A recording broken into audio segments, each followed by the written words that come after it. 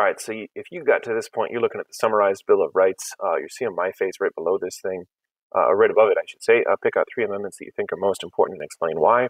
Give a modern example of the three amendments you thought were most important and how they might be used to protect individual liberties. You select absolutely any amendment that you want here, explain why it's important, and then give a modern example. And then you do that again, and then once more, and then you, and uh, that's it.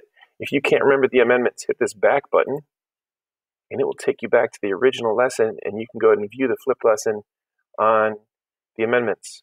And then you just hit the next button, and it takes you right back into here where you can write about the Bill of Rights, explaining the different amendments. Or you can just open a second tab and look up the amendments. Just wanted to help you out.